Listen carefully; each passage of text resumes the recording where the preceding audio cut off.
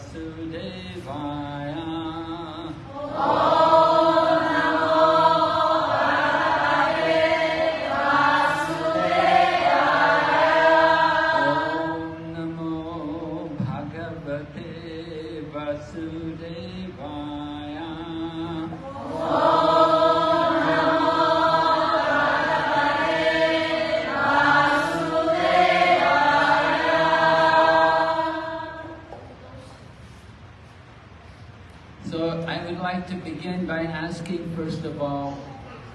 many people here are vegetarian? 呃，一开始呢，我想请教请请教大家一个问题：这里面有多少人是吃素的呢？ All right, about maybe half. hmm? 差不多有一半。 All right, so uh, we wanted to speak to you about the importance of spiritual practice. 嗯， 那我们今天想要跟大家分享一些灵性修行上，呃，灵性练习上面的一个重要的一些事情。Spiritual practice is something which is often neglected in the modern society. 嗯，那当然，呃，其实在这个呃现代社会要进行灵性的修行呢，是有点呃辛苦跟困难的。People give so much importance to earning money, but they don't give a lot of importance to their spiritual development. 大部分人把这个关呃把这个焦点呢都放在说如何能够赚取更多的金钱，而不是让自己的灵性能够进步跟成长。We should understand that there's more to life than just simply money. 那么呃，我们需要了解到说，对于我们的这个呃生命来讲的话，还有很多事情是比这个金钱更加重要的。We want to understand about the importance of the soul, not just taking care of the body and not just having a peaceful mind, but having a peaceful soul. 嗯，那么这里面呢，最重要的是在于说，呃，如何的，不是只有说是呃照顾你自己的身体，然后赚取更多的金钱，还更重要的是如何的去照顾你自己的灵性。 Please understand there's the physical body, there's also a subtle body, which is our mind, but there's also a spiritual body, which is the soul. 嗯，那么呃，大部分人只知道说我们这个外在的物质躯体，可是呢，常常就会忽略了，其实我们内在有一个灵性的躯体，就是我们的灵魂。 So, understanding the soul and becoming aware of the soul, this is part of the practice of yoga. 嗯，那么呃，能够理解呃灵魂，然后并且理解到说呃灵魂的重要性，这个是这个我们对于瑜伽修行的一个很重要的一个呃理解，应该要理解的点。 Yoga is a popular word today. We see a lot of yoga studios around. In Taiwan also, more and more people. uh, There's a lot of yoga studios developed here. 那么呃瑜伽这个概念呢，在呃台湾可以说是还流传的蛮广的，坊间也有许多大家知道各种不一样的这个瑜伽教室。But these yoga studios are mainly focusing on the physical practice and increasing the flexibility of the body. 嗯，那么可是大部分的瑜伽教室强调的都是呃肢体的开发，然后肢体的这个练习等等。That is only one tiny part of the yoga teaching. 嗯，那这只是瑜伽教导当中的某一个小小的部分而已。 We want you to understand there's a whole culture behind the practice of yoga. 嗯，那么我们应该要去理解说，这整个瑜伽的哲学，它背后它的文化，它的这个思想到底是什么？ Generally, when we speak about yoga, we introduce people to a book, a very ancient book which was originally written in Sanskrit language called the Bhagavad Gita. 那么在呃跟大家推荐跟瑜伽有关的一个非常古老的，那是以梵文写成的经典，就是啊《巴嘎巴吉达》佛节梵歌。 I had the experience myself meeting the Bhagavad Gita when I was a student. I studied in the UK, I'm from the UK, so I was studying engineering actually, and uh, I, I graduated also. In, um, I, I graduated up in Edinburgh, which is part of Scotland in the UK, and uh, I, we had a course on the Bhagavad Gita. 那么，呃，我也要跟大家分享一下我第一次和呃 巴嘎巴比达遇遇到的一个情景。那那个时候呢，我还在这个呃英国念书啊，那个时候我在念大学，那修的是这个呃是属于工程这个学门的这个科系。那当然我也顺利的从那个学学科毕业了。那但是我要跟大家分享的是，我在这个作为学生的时候，我第一次遇见呃遇到这个国家梵歌的这个情景。Yeah, we had to study humanities, and that was one of the subjects which we were we could choose in Bhagavad Gita. And from the study of the Bhagavad Gita, we learn about the soul. 嗯，那么在这个呃研读呃巴嘎巴地达之前的话呢，我们必须要了解到说，呃，什么是灵魂？ We have to ask ourselves, who am I? You know, we, we talk about my leg, my head, my hand, my arm, But who am I? I, the owner of the body. That's all the parts of the body. Who am I? 那么在这个最最原初的时候，我们会问自己一个问题，就是我是谁？那么我们可能可以理解说，哦，我有这个呃我自己的肢体，我有腿，我有我的头，我的手背，啊、我的身体这些，我知道说，呃，我是这个物质躯体的一个拥有者。可是必须要在更深层的去问说，我究竟是谁？When we look in the mirror, we're only seeing the body. We're not seeing the real self. 嗯，我们当我们照镜子的时候，我们看到的是自己的形体，可是我们没有办法去照见自己真正的自我。So we want to understand that, well, we could ask you a simple question. What is the difference between the living body and the dead body? 嗯，那也许我们从这个问题先开始，到底活着的一个躯体跟一个已经这个僵呃，就是已经这个僵在那里已经死后的这个躯体，它之间有什么不同呢？And We could say, well, there's no consciousness in the dead body. 嗯，那我们 The, the life is gone. 那我们知道说，这里面有个很重要的区别在于说，这个已经死掉的躯体，它没有具有意识。Indeed, when somebody dies, we will, we may say, they've gone. 嗯，而且呢，呃，比如说在英文来讲，我们就会讲说一个人死掉是什么？他走了。那其实我们中文也也是一样的表达方式。The body's still there, but there's no life in the body anymore. 那我们为什么会说已经走了呢？就是因为那个物质的躯体还在那，可是有什么东西就已经离开了那个躯体。Where did that life come from? That comes from the soul. 嗯，那那个到底是什么呢？那个就是灵魂。The soul is the living force in the body. When the soul leaves the body, there's a dead body. 嗯，那么那个最重要的区别区别点就在于说，原本在活生生的躯体里面住着一个灵魂，而当灵魂离开了这个物质的躯体之后，这个躯体就变成死掉的躯体。So from the practice of yoga, we learn to see how the body changes in the course of our life. 嗯，那当我们在练习瑜伽的时候，我们必须理解说，这个呃身体是如何的这个呃改变。Just like we have, one body when we take birth, we have a baby's body.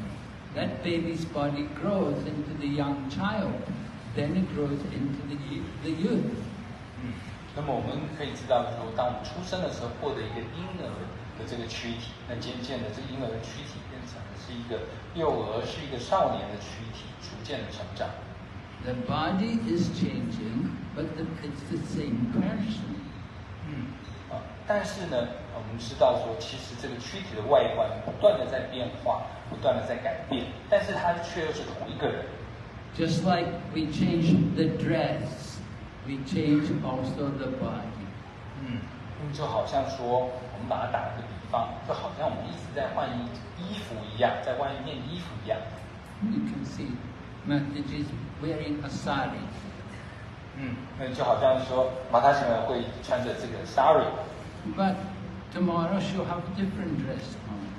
那当然他明天有可能穿别种衣服。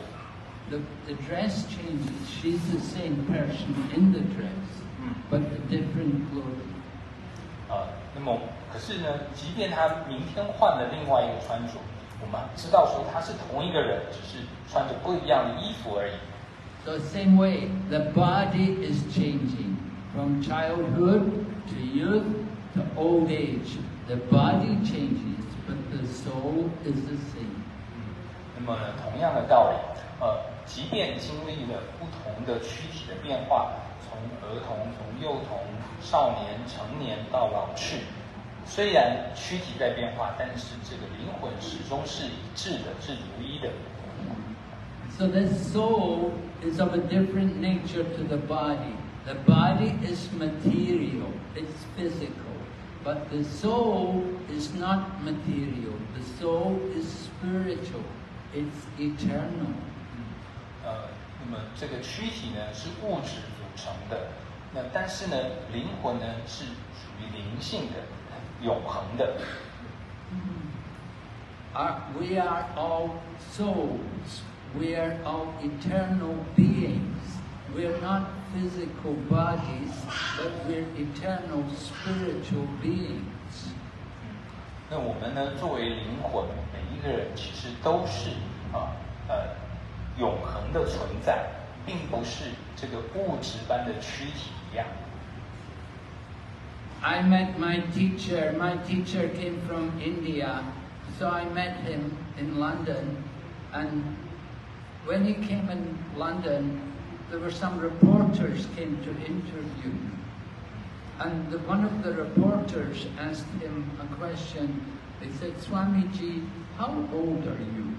嗯，那么呃，我也跟大家讲讲，呃，那个时候我在伦敦遇见我的灵性导师，那时候灵性导师是从印度来，呃，来到伦敦啊，当时呢就有一些这个记者呢想要去啊采访报道他， 那其中有一个记者就提问问说，哦，Swamiji 啊，就是对这个灵性导师的一个称呼哦，Swamiji，呃，那你您几岁了呢？几岁？啊，几岁？好，old。你心情，even the man。Yeah，yeah，right？你的年纪多大？哦，年纪的，OK。好，他问 Swamiji 说，你年纪多大了？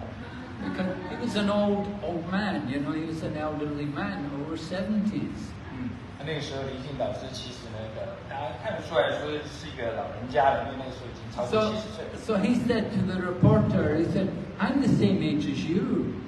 And the reporter was shocked. What? Huh? How could it be? You know? 啊，那那个时候灵性导师就跟他讲说，我跟你一样同样的岁数啊。然后那个记者听的时候，怎么可能？你跟我同样一个岁数？ So he was, ex- he was making the point, he wanted the reporter to understand that I'm not the body, I'm a soul living in a body. 嗯，那这个回答呢，其实就是要强调，要跟那个记者强调说，其实我不是这个你看得到的躯体，我是灵魂。 The soul is not young or old. The soul doesn't grow old, it doesn't die, it's eternal. 嗯，那这个灵魂呢，本身就没有年纪的问题，没有老，没有幼的问题，因为灵魂是永恒，呃，灵魂是永恒存在的。So we want to understand how to apply this teaching in our life. 嗯，那么我们就要理解到说，我们要如何运用这样子一个教导，在我们的人生当中。And one of the important things is also what you eat. 啊，这里面有一个很重要的点，就是说，那我们该如何的呃饮食呢？ Do you live to eat or do you eat to live? 呃，你们是为了吃而活着，还是说你们是为了活而去饮食呢？ Well, I hope you eat to live. 嗯，那希望大家哈、是 为了要能够活着而去饮食的。 And we should know what is the proper food, not just for the body, but also for the soul. 嗯，这里面很重要的点是要去理解说，我们应该要呃怎么样子的呃建立一个饮食的规范，不是只是为了物质的躯体，同时也要有益于我们的灵魂。 Certain foods are not good for the soul. And that, when I say not good, I mean it, it really covers the soul. And that kind of food, that is what we, what animal flesh and things like that, impure things. 那么这里面要跟大家强调，就是说什么叫做对于灵魂不好的食物呢？呃，比如说这里面讲到说呃动物的这个尸呃这个尸体啊，这种东西其实是不好的，因为它不洁净。那这里面讲的对于灵魂不好，指的是说它会去覆盖这样的一个灵魂。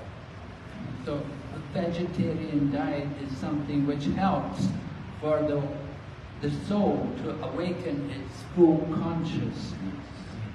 而呃素食的饮食呢，是有助于灵魂的。为什么说有助于灵魂？因为其实它能够让我们的这个觉知更为的敏锐。 We are all conscious. That the, the, the nature that comes from the soul. Consciousness is not just coming from the heart or from the blood, but it's from the soul.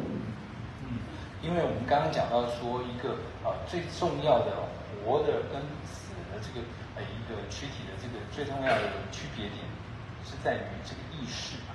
那这个意识其实是跟灵魂是息息相关的。 So vegetarian diet is, is something which is usually practiced for, by people who are concerned for their spiritual consciousness, to awaken a better vision and deeper understanding of the world around us. 嗯，那么呃，这个呃，透过这样子的饮食的习惯改变，可以让我们的这个意识更加的清晰，而且能够呃更为这个觉察的生活。 Things like intoxication, smoking and drinking, these kind of things, they're- they will cover our real 嗯 consciousness.，那么还有一些其他的饮食，比如说像酒精类的饮料啊，一些这个啊毒品或者是麻醉的这个物品呢，这个其实都会让我们的意识呢遭到覆盖。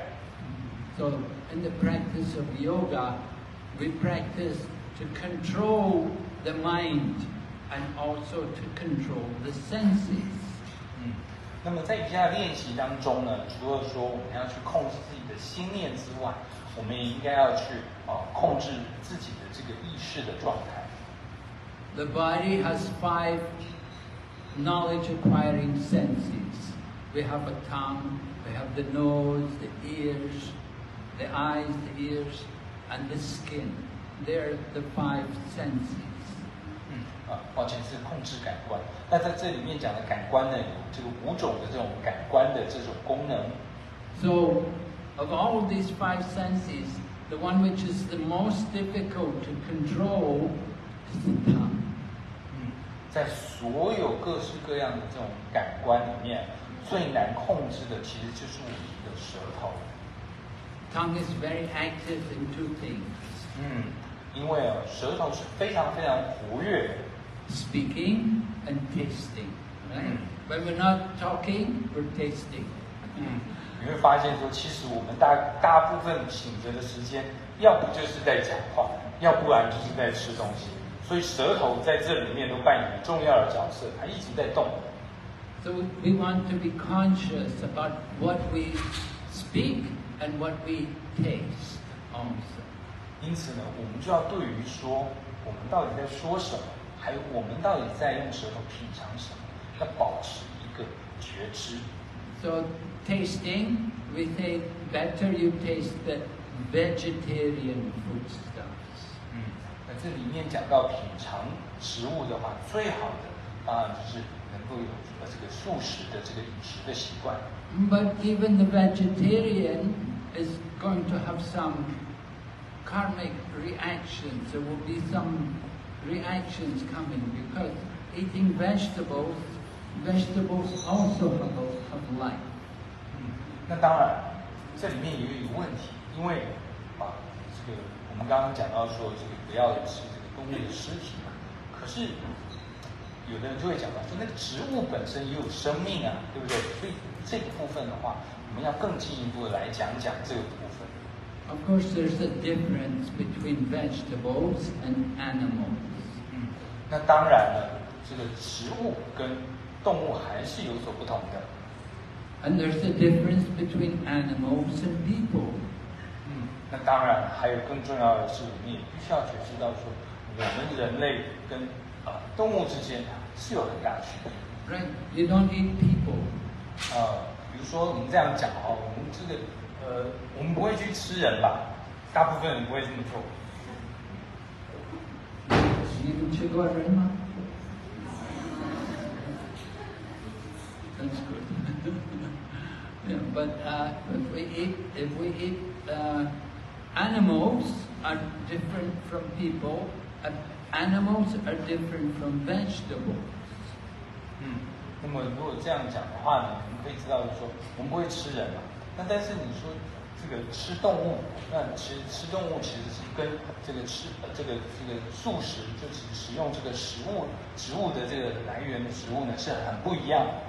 So it's better to eat vegetables than to kill the animal. 嗯，那么对于呃饮食来讲的话，啊，当然最好的是你呃采用素食，那么不要去呃为了饮食而杀生。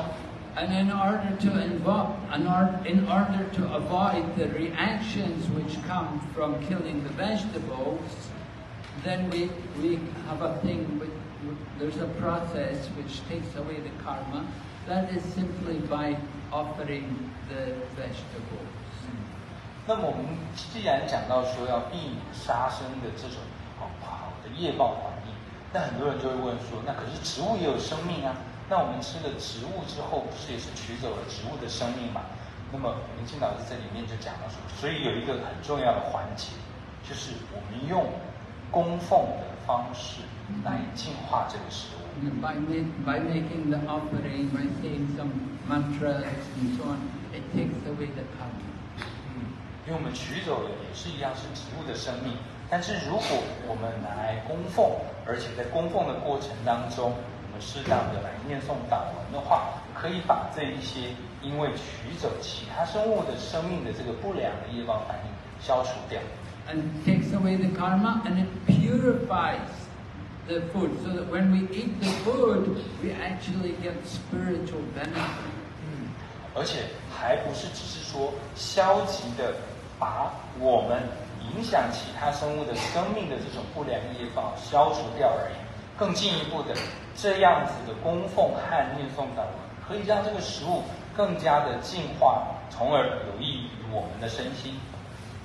so yoga practice uh, we, we want to control the tongue and we control the tongue by eating food which has been offered in some mantric process 那么刚刚跟大家讲过了，在瑜伽的修行练习当中，最难的就是控制舌头这个感官啊，这个器官。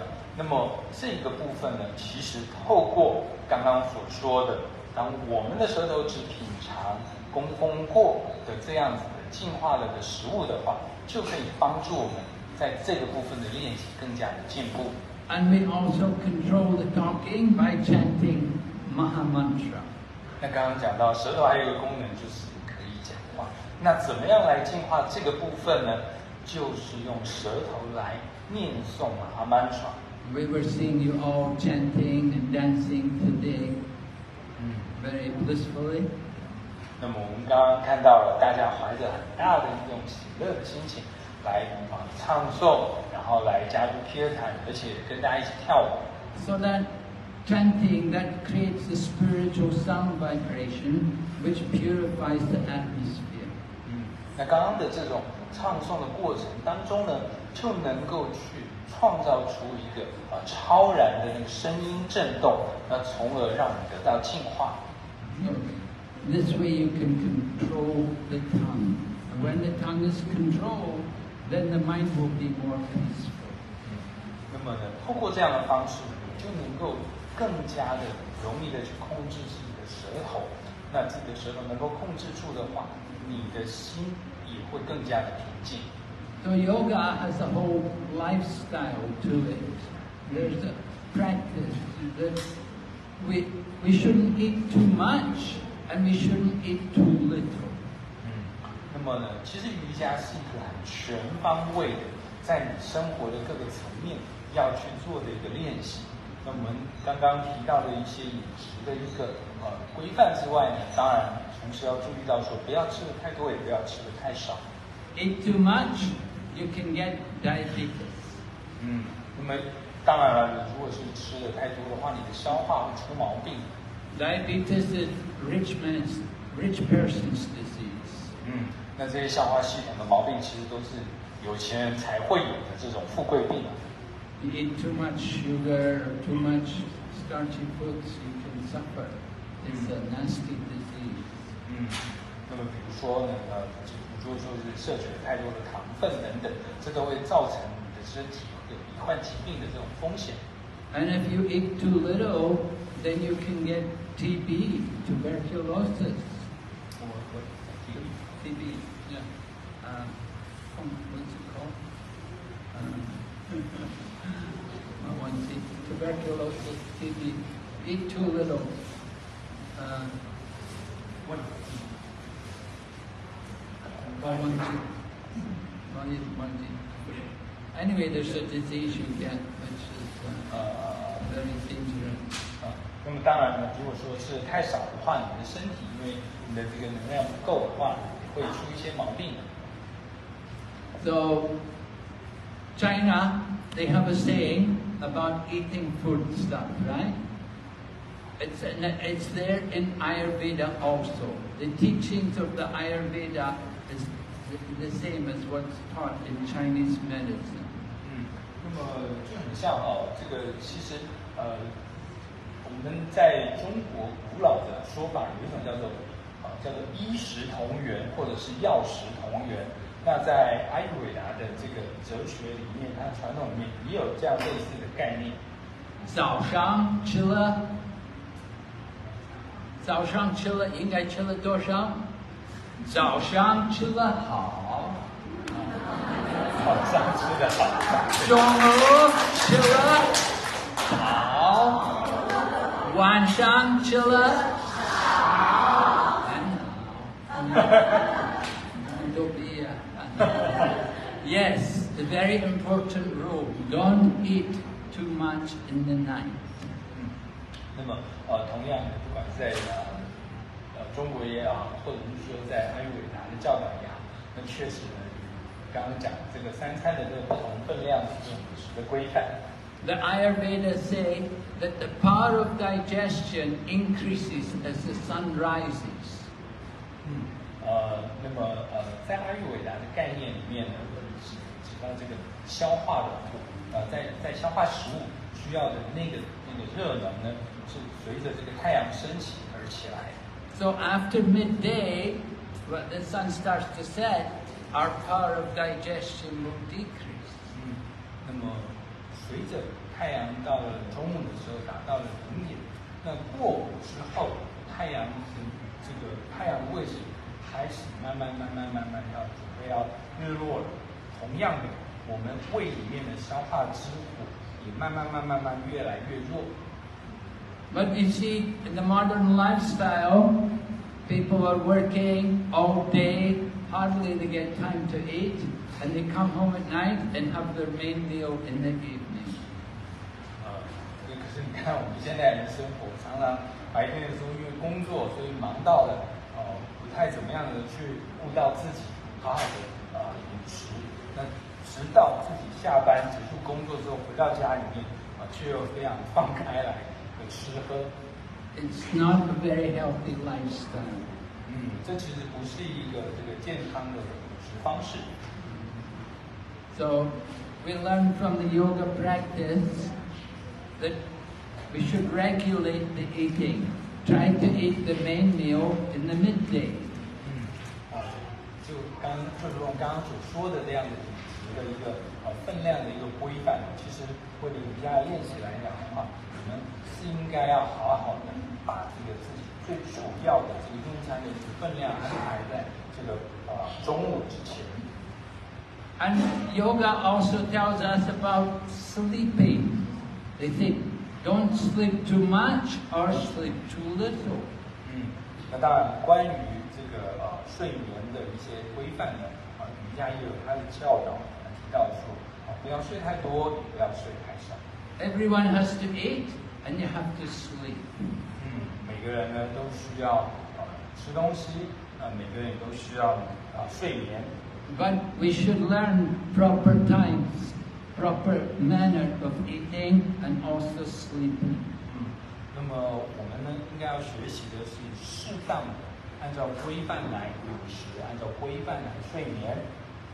In the yoga lifestyle, yogi will want to sleep earlier in the evening. 嗯，那么在瑜伽的修行规范来说的话，一个瑜伽的修行者应该要早早的啊入睡， They will sleep early and wake up early. 嗯，然后你都会早睡早起， Because early morning is a good time for meditation and controlling the mind. 嗯，因为呢早起的 那段时间啊是非常有助于冥想，非常有助于你的灵性的益处的。 The modern lifestyle is just the opposite. People sleep very late and get up late. 嗯，不过呢，现在大部分人生活都是啊、睡得很晚，然后也起床也起得很晚。 They get up late and then they're they're always behind, they're rushing all day trying to catch up. 嗯，那么因为也因为晚起的关系呢，所有所有的事情呢就开始啊，因为晚起，所以随之这个所有行人都匆匆忙忙的在赶着一个又一个的事情，一个一个又是。 The yoga masters also tell us that if you can sleep before midnight, what every hour before midnight is equal to two hours after midnight. 嗯，那么在瑜伽的说法，也就是说，如果啊你你在你在这个呃午夜午夜十二点之前提早一个小时睡的那样子的那个效益呢，啊、会比你晚两个呃 late two hours No, it's equal to two hours After midnight. You get the benefit of one hour every hour before midnight. Yes. You get the benefit of two hours after midnight. 哦，那么呃呃，相对啊，就是在瑜伽的这个对于这个睡眠的教导中，你比午夜十二点这个时间呢早一个小时睡呢，获对身体获得的益处呢，会比你晚睡两个小时要多很多。So the yoga masters, they, they have that habit that they will like to sleep earlier rather than later. 嗯，因此呢，在这个瑜伽的修行的这些老师们都会强调说，应该要能够尽量早睡。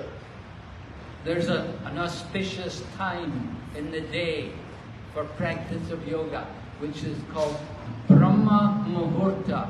嗯，那么接下来要跟大家讲一个对于瑜伽修行 非常重要、非常神圣、呃有效力的一个时间。那梵文叫做 Brahma Muhurta。Brahma Muhurta comes one and a half hours before sunrise. 嗯，那么呃，欢迎 Before, one and a half hours before the sunrise. 啊，那个 Brahma Muhurta 指的是在日出之前的一个半小时。If you ever go to a Buddhist temple or even a Hindu, Indian temple, you'll see they have, they get up in the morning, four o'clock. 那么如果大家曾经到不管是这个佛教的寺庙里面去，或者是说你有曾经拜访过这个在印度的这些呃各种不同的寺庙的话，你会发现他们几乎都是四点就开始啊准备要进行早课。Because that's the auspicious time in the day. It's the time when the mind is peaceful. It's the time when you can control the mind and focus your mind on what you have to do. 嗯，为什么要这样子在那个时间点？那个时间点就是一个非常适合修行的一个一个时间，因为在那个时间点，你很容易让自己能够专注，那你也很容易让自己的心啊心灵能够呃在一个平静稳定的状态。And you will see also often that the, the Buddhist people, they will eat two meals a day. They don't eat in the night. They eat the breakfast, they eat the lunch, they don't eat after midday. 嗯，那同样的哈，呃，如果说大家知道的话，有一些这个佛教的僧侣，他们其实是只有吃两餐，那就是我们以呃有有一些这个说法是说是过午不食，那有一些的话就是讲说哪一天只有两餐之后，那在没有这个晚餐这一这个第三餐的这个呃饮食习惯。So like that, you want, we want to regulate our activities, eating and sleeping. They want, they should, they have to be regulated, controlled. 嗯，那么为了这样子的这个灵性的修行的益处呢，其实我们应该要养成自己在饮食和睡眠的一种规律的一个习惯。So to help us control, we have to practice chanting Maha Mantra. We chant the Hare Krishna mantra. 嗯，那么当然也为了要帮助我们能够控制自己的心念，哦，那个啊，所以就有很大的一个部分的功课，就是要念诵 Maha Mantra。See, I have a, a bag here, I have my beads here, and we chant on the bead every day. We do this meditation. 嗯，那么在我们的瑜伽修行里面呢，我们的这个每天的日常修行，就是像林心老师的这个念珠袋里面的那个念珠，那我们用这个念珠袋来啊、念诵啊。It's a great benefit to help us to control the mind. 啊，这样子的念诵呢，对于我们控制自己的心念是非常非常有益处。Bhagavad Gita tells us the mind can be the friend and the mind can be our enemy.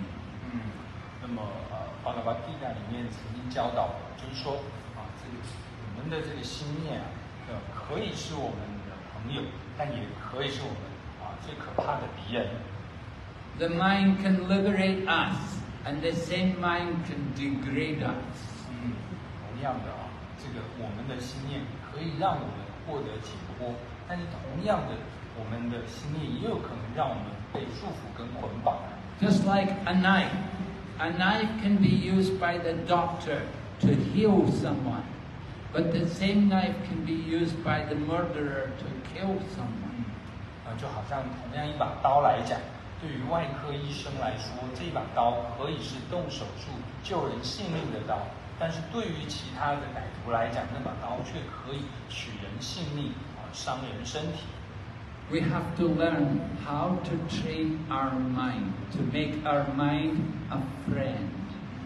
那么我们有一个很大的功课，就是要如何的去训练我们自己的这个心念，让这个心念能够成为对我们有益处的朋友。 Is your mind a friend? Do you have a good friendship with your mind? 呃，大家想想看呢，你跟你自己的心念、你的心意之间呢，是一个友好的关系吗？你跟他做了一个好朋友吗？Sometimes it can be very bad enemy to us. 哦，有时候这个你自己的心念啊，很有可能是我们对我们来讲啊，是很有威胁的，是非常危险的一 So how to train the mind? 嗯，那我们应该要怎么样子的来训练自己 Sometimes 念 we, 呢？ we say the mind can be like a wild animal. 嗯，有的时候我们自己的心念其实就像是一个不受控的疯狂的野兽一样。 You know, if you capture a, a tiger or a lion, you know, w- would you know how to tame it? 嗯 You know how to tame it, how to make friends with it? 嗯，那么比如说呢，大家可能有呃去野生动物园看过，不管是狮子也好， 老虎也好，或者在影片里看到。但你觉得你能够跟这样子的野兽能够做朋友，能够交朋友吗？ So, our mind is like that. When you capture a wild animal, you know the process to train the animal. They will put it in the cage, and they will leave it in the cage for many days. without any food. They will starve it. 嗯， 那么呢，其实我们的心念就很像这一些啊、野生动物一样。如果你掌握到了技巧，你懂得怎么样的去像驯化这些野生动物一样的控制自己的心念的话，那其实你看那一些能够啊驯服野生动物的人，他可以有一些方法去抓住这个野生动物，把它放在笼子里，而且他们被放在笼子里面可能好几天啊不吃不喝，可是都能够安安静静待在里面。 So after the animal has been in the cage for many days, then the man will come with a whip and beat it. 嗯，那么对于驯兽的这些呃技巧，有驯兽的技巧的人来讲的话，他先把它放在那里，然后养了它几天之后，就开始啊来训练它。 You may say, oh, it's very cruel. 嗯， 在那个过程当中啊，有时候看了会觉得蛮残酷的。No, there's a purpose behind this. After he's beaten it, then he will feed the animal. 嗯，不过呢，啊，我们知道驯兽的过程不是只有残酷的一种，只有打跟伤害的那一面，但是常常是这样，打完了之后可能会喂它以食物。So then the animal understands this man is very powerful. He put me in the cage, he starved me, he beat me, and now he's feeding me. I better do what he said. 嗯，那么用这样子的一个程序呢，可以让这头动物、这头野兽明白说，啊，这个人对我来讲他是很有力量。为什么？因为他可以制服我，然后他又可以把我放到笼子，他让我挨饿，他让我挨打，可是现在他又可以给我食物吃。So dealing with our mind is like that. Mind is like the wild animal. You have to starve the animal. You have to starve our mind. How do we starve the mind? 嗯，同样的，在驯服我们自己的心念那个过程，就跟这个驯兽师在驯服野兽的过程很像。那我们得问一句啊，那如何先让我们的心念先挨挨过那一段的饥饿呢？ How do we beat the mind? 那我们又要如何的鞭打自己的心念来驯服它呢？ We have to we have to get we have to do the things the mind doesn't want to do. 这里面有一个诀窍，就是我们要做一些是心念不想做的事情。 The mind says, I want to eat chicken, I want to eat meat, I want to drink, I want to do all these bad things. 比如说，你的心念就会告诉你说：“我要吃炸鸡，我要吃大餐，我要喝醉。 So you have to beat the mind and say, No, I'm not going to give you. ”这个时候，你就要非常严厉的对你的心念说：“不行，不可以这么做。 What we're going to do, how, how you beat the mind? You say we're going to eat vegetables and fruits. ”那你要怎么样子鞭打、驯服你的心念呢？那就从喂它吃素食开始。 the mind says, Oh no, no, not vegetables again. 啊，然后你的心念就不要不要吃素， I want fish and eggs. 我想要吃鱼。 We have to make the mind do what is what it doesn't want to do. 那么这个驯化的过程，就是我们必须要对自己的心念啊，强迫他去做一些这个心念是不想要接受、不想做的事情。 Mind wants to sleep all day. We tell it, no, we're going to get up early in the morning. 就你像呢，你的心 念就跟你讲，哦，不要起来，今天是周末，最好睡睡一整天，不行，就是要强迫他早起。The mind says, oh, just sleep more, it's okay. You can meditate in the night. You don't have to meditate in the morning. 嗯，那那个心念呢，也可能跟你啊商量打交道说，啊，没关系，如果你想要这个呃冥想的话，晚上也很适合冥想，大半夜也很适合冥想嘛，不用起来这么吵嘛。So we have to understand how tricky the mind is, how it's very cunning, always trying to keep us away from spiritual practice, from the practice of yoga. 那我们要很深刻的明白说，其实我们自己的心念很容易跟我们玩一些小把戏。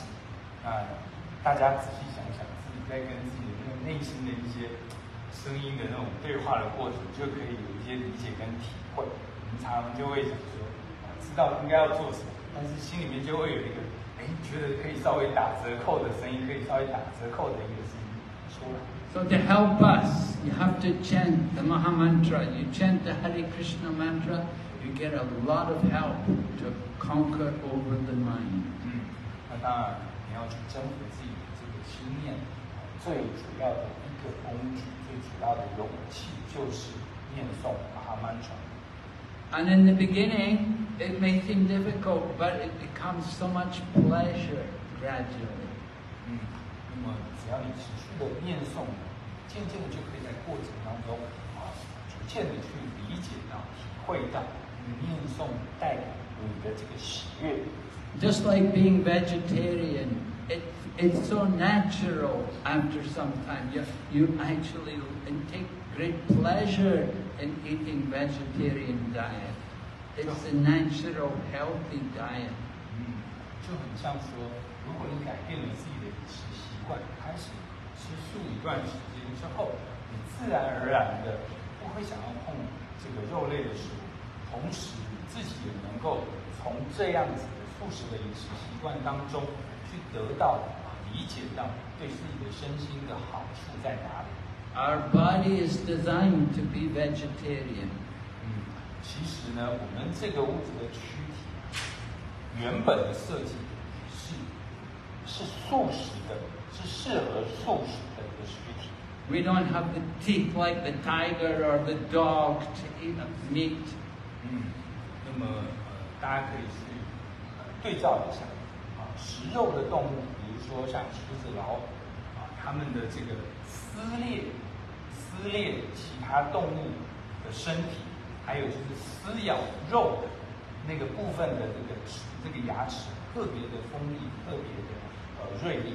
可是我们人类大部分都是平的臼齿，那我们的门牙这些牙齿的这个设计不是让我们来撕咬肉类。The acids which are in the human body are not powerful enough like the acids which are in the animal, the meat-eating animals. The acids in the human body are very mild, meaning they're meant to digest vegetables, but they're not meant to digest meat. 嗯，而且我们的这个肠胃啊、消化系统，它整个器官都是用来啊、消化这个用来设计用来消化 这个蔬食，哦，不是适合用来消化肉类。 And the design of the intestines in the human body, we have a very long intestinal tract because the vegetables, the food takes a long time to come through the, the, the, the long tract. But the meat-eating animals, they have a very short digestive system. 哦，就比如说呢，呃呃，我们可以比较一下， 其实我们人呢有很长的这个呃呃，经过胃之后，这个呃呃，忘记胃说什么？我可能胃都是长，都是长，十二指肠、小肠，然后大肠啊、直肠这样，其实那里面是弯弯曲曲，非常非常很长的一段距离。那为什么设计这么长的一段距离？因为如果你是吃素食的话，那个植物的纤维需要 慢慢慢慢去蠕动跟推进，然后最后就把它消化完成。那但是食肉动物呢，它没有这样的设计。 So especially here in Taiwan, you're very lucky that Taiwan grows so many varieties of fruits and vegetables which are available for everyone. And not only fruits and vegetables, but grains and beans. There's so many foodstuffs available. Do, we do not need to kill the animals and eat meat. 嗯，呃，大家是非常幸运的，呃，出生在台湾，住在台湾这样的一个地方。那可以说这个地方有很多的蔬菜、水果，那也有种植谷物，然后也出产很多的豆类。那这些呢，呃，条件，其实都非常适合大家养成一个呃舒食素食的一个呃饮食习惯，实在是没有必要为了要这个呃吃一餐啊，伤害其他生物的呃其他动物的生命。The worst meat is the red meat. I mean, if you eat like the, the cow's meat, that's the most harmful. And it carries the greatest karmic reaction. 嗯，那么呃，在肉食里面呢，其实呃，如果是吃红肉啊，像牛肉的话，其实呃，这个业报啊的反应呢，尤其是更为严重。So maybe you're a meat eater, maybe maybe you're, you're, you're thinking about being a vegetarian, but you're still eating meat. You can progress like that. Give up, first of all, the red meat. Don't eat any cow's meat. Maybe you just, in the, in the beginning, you just take only chicken, like that. That's, that's white meat, different from the red meat. Red meat is very bad. 那么呃，因此呢，其实如果大家有心呃想要改变这个饮食习惯的话，啊，虽然可能没有办法一下子就到了这个呃素食这样子一个阶段，但是呢，你可以考虑啊，先放弃掉在你的这个饮食的这个习惯当中，先把红肉从你的这个饮食习惯当中啊把它拿走。那你先试试看，先不要吃红肉。那即即便你还是有吃肉的欲望跟想法的话，那就先不要碰红肉了。嗯。 I met one young boy. Well, no, I met his mother first. His mother said to me, he said, my son only eats cow's meat. 嗯，那以前呢，曾经有一个太太啊，跟这个李庆导就说啊，我儿子都只吃红肉，都吃，他喜欢吃牛肉。 So I said, but that, that's terrible. I said, that's the worst thing he could be eating. 嗯，啊，那么老师告诉他说，哇，真的是蛮糟糕的，因为这是一个最糟糕的一个饮食的习惯。 So she brought her son, and we talked to him, and we convinced him that he understood that very harmful to be eating cow's meat. So he said, okay, I won't eat any 呃，那么呃呃，这位妈妈呢，就把她的孩子带来，跟女性导师好好的谈过。那这个年轻人呃之后呢，啊理解到说，嗯，那个确实要吃肉是啊、对自己是蛮伤害的一件事情，就决定做出改变。So it was his mother's fault, actually. His mother was the one who brought him up. She, and she brought him up eating cow's meat. But then she became the vegetarian. She changed, but she had difficulty to change herself. 嗯嗯，那么其实呢，妈妈当时候啊问女性导师，也只是希望说儿子不要吃牛肉，那没有想到说呢，其实从开始啊放弃牛肉的饮食开始呢，这个儿子后来见成为了一个这个吃素的，啊，建立了他的这个素食的饮食的习惯。But I, I told her, very important, you learn how to cook nicely. Often people think vegetarian diet just means some green leaves and rice. But there are so many nice vegetarian dishes to be made. 嗯嗯。不过呢，林青老师那个时候是有跟妈妈说，就是说这个饮食习惯改变呢，一定要有一些条件的配合。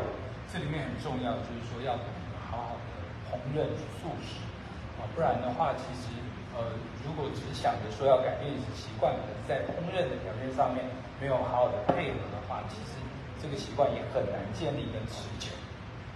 So we are trying to educate people in this art how to cook nice vegetarian dishes. Then you'll feel happy being vegetarian. 哦，所以呢，这是我们协会在做的一个事情呢，就是呃，能够有各种各样的机会来教大家来这个呃烹饪，能够制作出啊、非常好的、非常吸引人的这个素食的餐点。Often people say, no, my family all want to eat meat. I say, yeah, because you don't cook nice. If you cook very nice vegetarian dishes, then they'll be happy.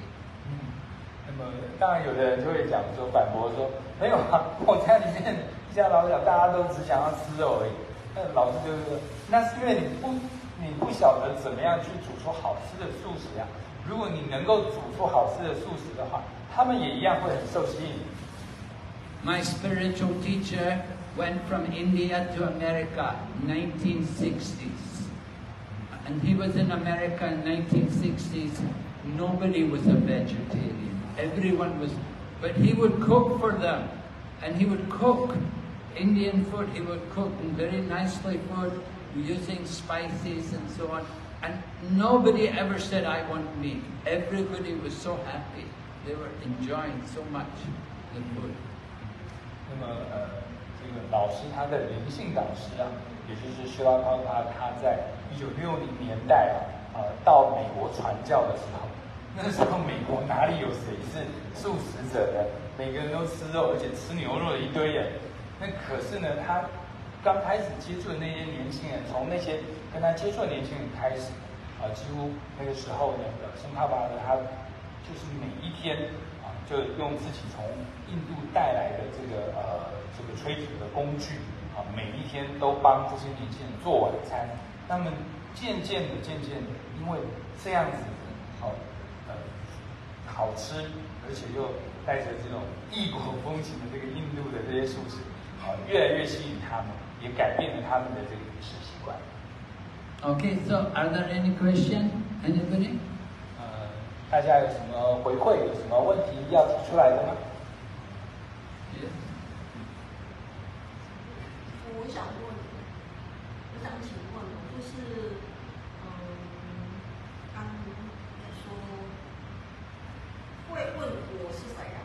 嗯嗯嗯那我们也知道说，我们活着的时候都会动，都会动叫动物。嗯。那当死亡的时候，我们可以很明显的知道说，好像有什么东西从我们的身体离开，因为我们不会动，嗯就不会动。那我们看过死亡的人，所以知道说，哦，本来这个是我很熟悉的一个人，然后他会动，然后他死掉以后呢，还是那样子的形象，知道说他是我的母亲，可是他就是不会动嘛。嗯那我要问的是说，那不会从会动到不会动，我想请教，那个当初会动的那个，在他的身体离开的那个会动的东西，到底是什么？它是意识吗？是觉知吗？是灵魂吗？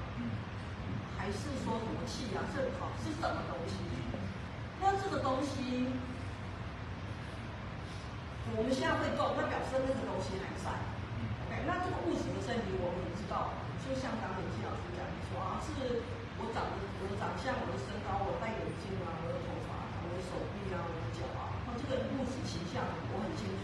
那我现在很不清楚的是说，啊，那个在身体里面会动的那个到底是什么？然后它长什么样子？到底是长什么样子？它是什么？然后它是灵魂吗？是觉知吗？然后还有一个是，就是说，它到底为什么住在我的里面让我会动？它到底是想要干什么？它是为了什么？它是什么目的？要让我这样子会动？到底他想要什么？嗯。呃，你是什么关系？呃呃是呃呃 another another questions. First, first of all, what's the difference uh, between uh, uh, dead body and the living body? And uh, because uh, Marge uh, said in the in the lecture, you said that uh, uh, there's something wrong from the dead body. So this dead body cannot move and have no activities. And what is the this thing that make our body active and uh, living? Is that consciousness? Is that awareness or spiritual or what? Yeah, I said, I explained the difference between the living body and the dead body is the soul. The soul goes out of the body. So when the soul goes out of the body, there's no more consciousness 引导要说明清楚，就是说，呃，正面这个活体跟实体之间最大的一个区别就是呃灵魂在不在，但是灵魂才会让这个身体有意识跟有觉知。那那这样灵魂它是什么？嗯，and what is soul and what's the The soul is the living force in the body. 嗯 The body is like a dress.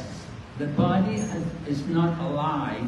The body is just like a dress. 嗯，那么呃，其实我们的物质躯体就很像是呃我们的穿着的衣物一样啊，是灵魂啊这样子具有生命力的这样子的呃呃，so you you told that uh, 我们的身体好像衣服一样，我们的衣服，我脱衣服，他们不会懂。死了再换一套，然后再换一套，再换一套。对，然后他一直在这样换衣服，要再穿衣服，他一直在换成他对要想要干什么？跟规定，嗯，他一直这样子换衣 what, what 服。is the purpose that uh, the, the soul living in our body? according to well, the soul has our desire. This body, this is our karma, our desire. You know, we desire this type of body from our past. We've had many births, and this body is a result of our past birth. 嗯嗯，呃，那我们现在有呃这样的躯体呢，其实是来自于说呃 的业报，因为我们呃累累生累世有不同的生死。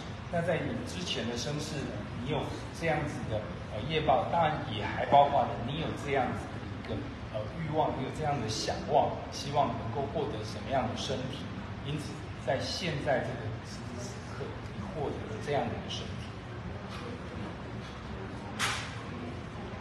所以灵魂就在我们的身体，是因为我们的业报，然后死就好像又换了一套衣服来跟他一样子。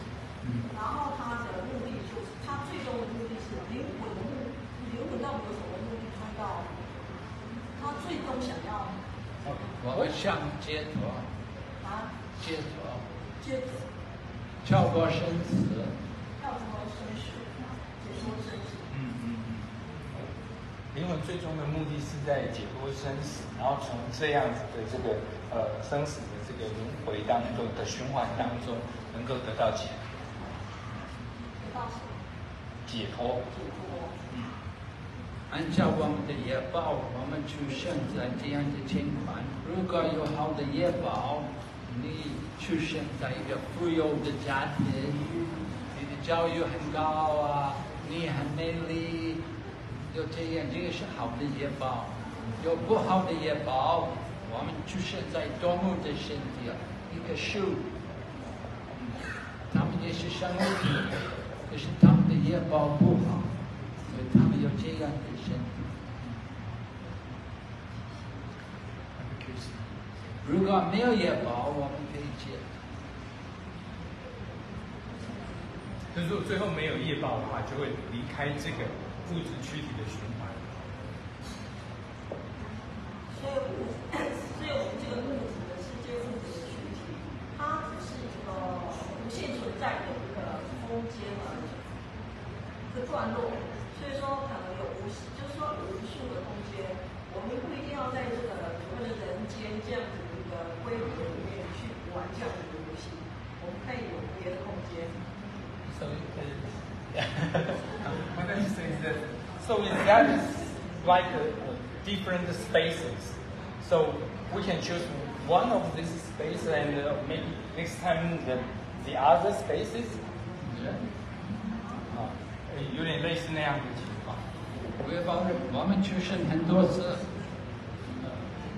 以前我们有很多身体，你穿过吗？穿过蝴蝶的衣服，鸟的衣服。现在这一辈子是穿的这个人的，还有五官，有两只手，两只 是这样子吗？有可能是这样子，有可能。OK，我们